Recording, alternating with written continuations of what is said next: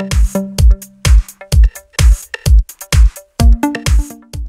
I have cat S31 and let me show you how to set the screen lock protection on the following device, so in my case how to set up the pattern lock on the following smartphone.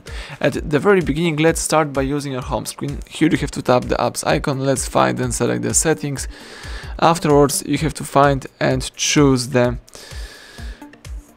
uh, security, it's under personal tab, then select the screen lock, here you have to choose pattern, pin or password, in my case it could be pattern. You can require pattern to start the device or you can choose no thanks.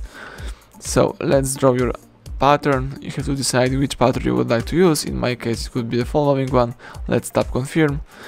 You have to select your form of notifications, so when your device is locked you have to choose if you would like to show all notification content, hide sensitive notification content, or maybe don't show notifications at all. So in my case let me for example choose the show all content and let's tap done. So that's it. Now let's just use the power key and if you would like to unlock your device you need to input your pattern. And that's it.